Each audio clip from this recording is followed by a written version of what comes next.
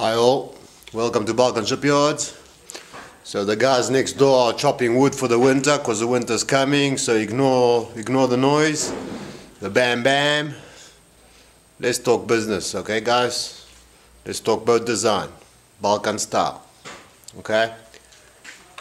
That's the Havaya 30, 25, floor one force, she got a leap on her.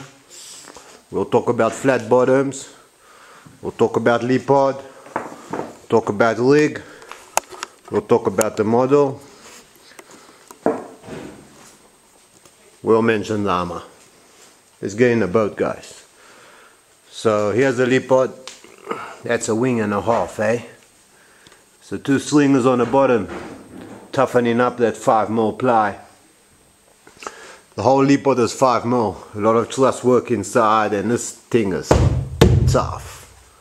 Okay, I trust the leepod. It's gonna save. Told you the guys are chopping wood. So yeah, we'll ignore them. Okay, let's get inside. So the boat's all painted inside. She's ready to go. I'm decking tomorrow. There's the deck pieces. So I said I'll make a final word of what what's going down over here. And uh, tomorrow I close her up. So this will be the end of the end. Okay, no shoes aboard. So let me. Yeah, here we go. Okay, everything's painted. Everything's ready to go. Flat bottoms. What's the deal with flat bottoms? So everybody's going on about flat bottoms are not good, blah blah. Whatever, mate. Flat bottom gives you less draft, more volume, and more headroom. You get more headroom, okay? I mean, if I got a V bottom at the bottom, then I got to have a fake floor on top of that, and I'm losing all that V in headroom. This is a huge boat. That's the biggest advantage of flat bottoms, and that's why I've always used flat bottoms because they give me headroom, they give me volume, they give me less draft. I mean, I mean, flat bottom, okay? So that's my post boxes. Charts going here because we like navigating on paper. We like navigating the way the navigators used to navigate. Plus work in here, so a few clothes over here and stuff. So here's the bunk, so we're going to have a piece of ply that comes down over here.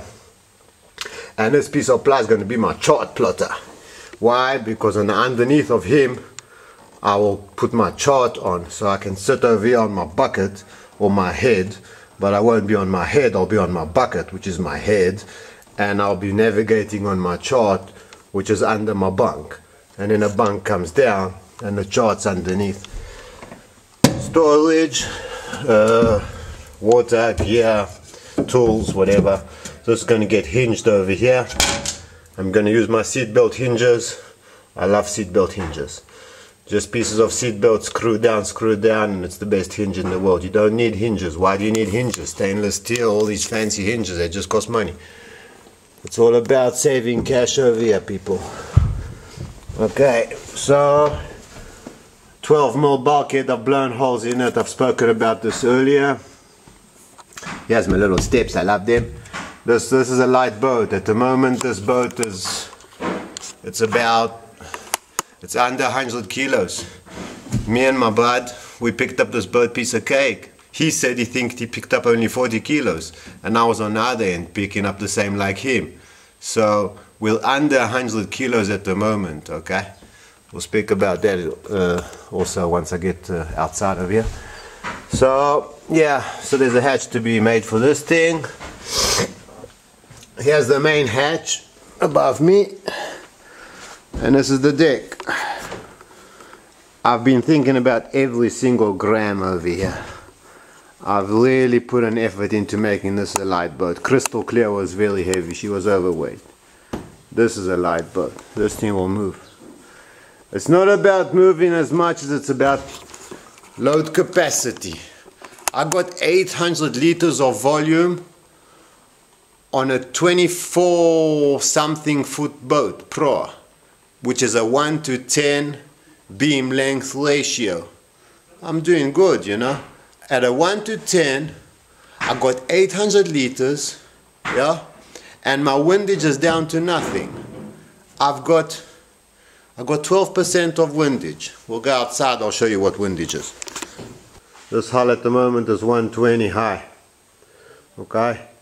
If I take off 45 yeah that leaves me 75 top sides above water above sea level.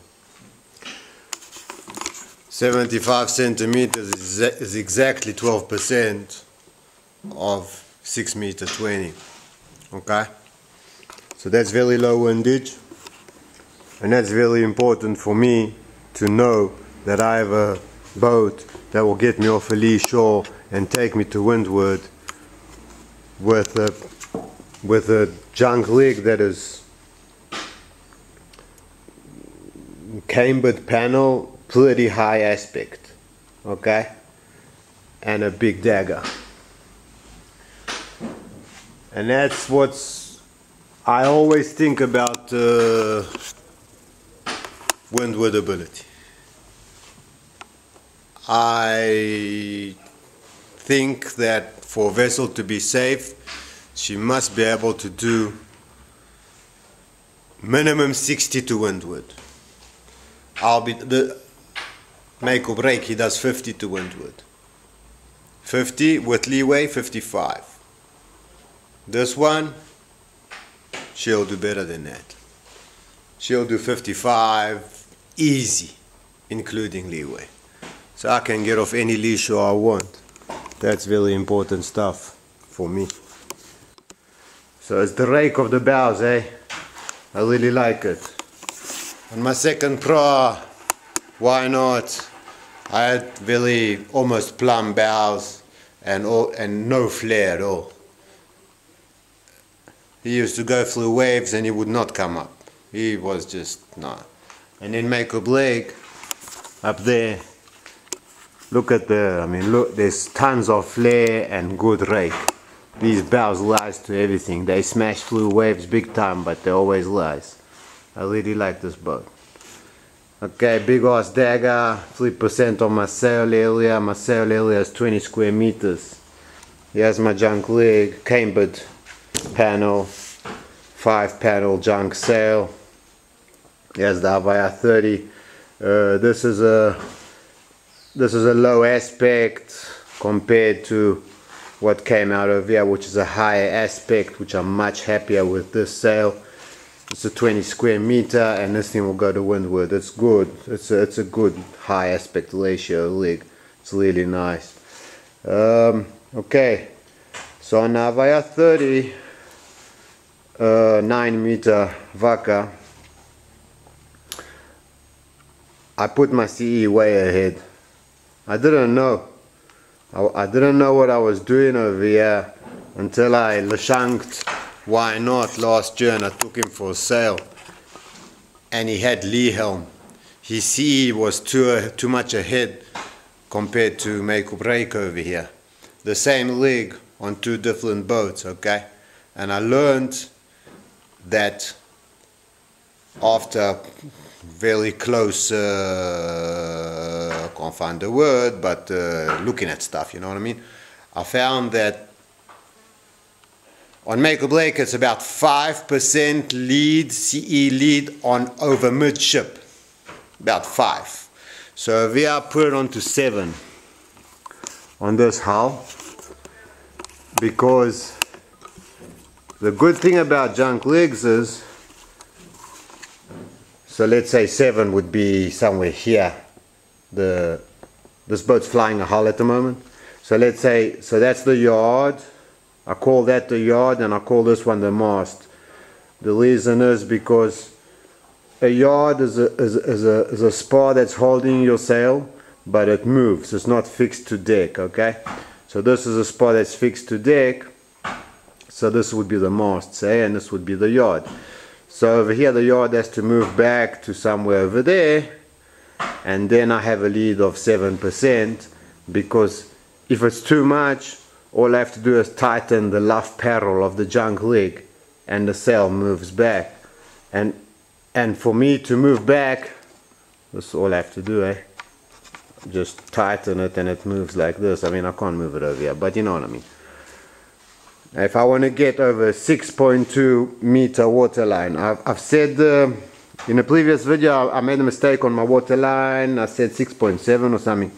Forget numbers it's 6.2 meter water line of both the hulls roughly it's the same water line on Ama and Vaka 6.2 if I want to move it back 5 to 5% from 7 which is 2% back, all I have to do is go back 13 centimeters. My junk rig, I just have to tighten the luff parrel and he will go back 13 centimeters, piece of cake. So I prefer him having a little bit more forward.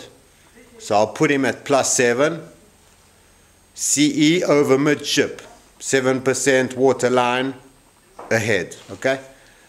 And if I have to go back to 5, if I have lee helm, I just pull the pedal, it will take me a minute at sea. I adjust my leg, I bring it slightly aft, and I get my weather helm that I want, okay? So that's, uh, so that's why I'm working on it like this, and I'm so happy that, because I designed this model before I, before I Loshanked uh, Why Not, my second Pro.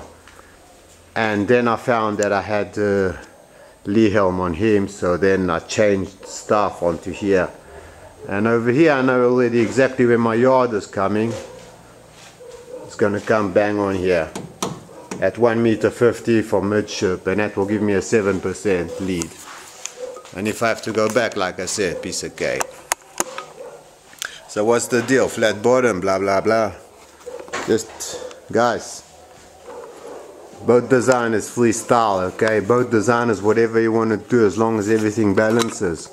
You don't have to listen to all these geniuses on the net and you don't have to take on whatever everybody says and just design a boat the way you feel a boat should be as long as you understand boat design and you understand that everything must balance. This is my fourth build, eh? So yeah, I messed up a lot on the way, okay? But it wasn't never, never it was the flat bottom was the problem, never it was anything else was the problem. The problem was that you just don't know what you're doing, kind of, you know. So, so you learn the hard way. So, so there. I mean, that's her. Nice wing, eh?